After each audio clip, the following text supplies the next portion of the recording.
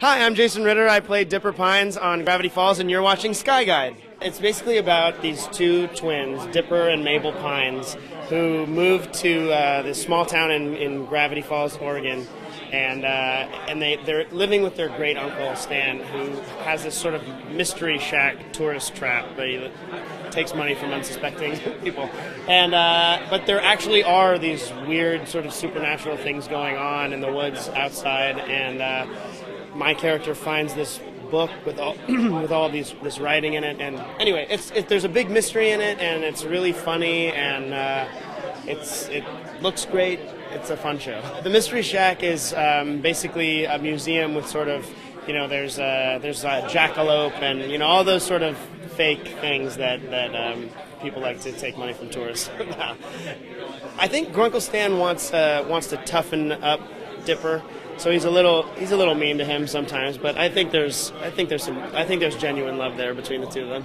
Well, the the mystery deepens. Um, there's this character that was just introduced named Little Gideon, who's a child psychic in the town, and he tried to date Mabel until I uh, helped her break it off with him, and now he becomes a, a person who is constantly trying to mess with us and destroy us, and so that's a that's a fun character that carries through the whole thing and yeah, there's a lot of new characters that are introduced and uh, a lot of bizarre, fun, sort of playing with the whole uh, genre, and uh, it's it's great.